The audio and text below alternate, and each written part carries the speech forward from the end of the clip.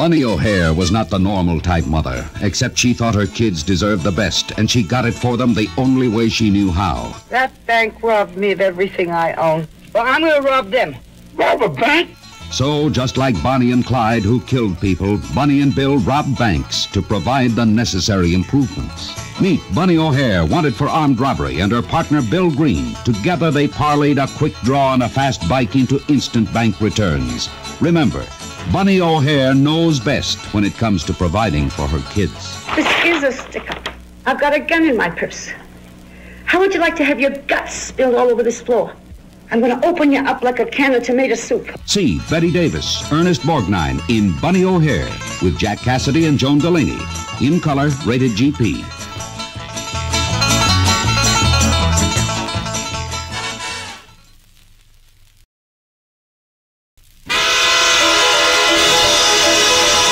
Bunny O'Hare isn't a normal type mother, except she thought her kids deserved the best, and she got it for them the only way she knew how.